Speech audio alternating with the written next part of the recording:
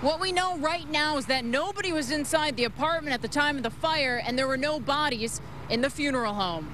Awful, awful. I pulled up and I just started crying. Judy McDaniel had not been the only one. Many people showed up worried that the David C. Brown Funeral Home, a longtime Belleville business, would burn to the ground. Oh, oh, it's heartbreaking. It's heartbreaking. The funeral business has a residential home attached to the building that's rented out by the company's family member.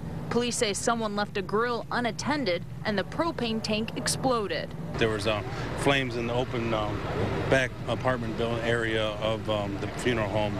The actual funeral home um, was fully involved when I got here. Neighbors say the food on the grill had been cooking for a party across the street where the funeral home owners live and had been celebrating a baptism. They take care of all of our family, everyone else.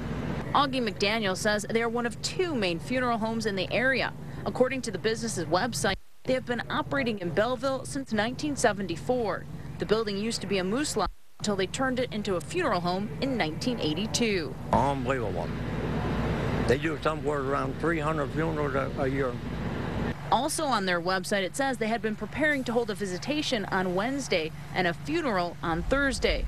Most of the damage occurred at the attached home. No one was injured, and the fire chief says he's not sure how long it will be before they can reopen.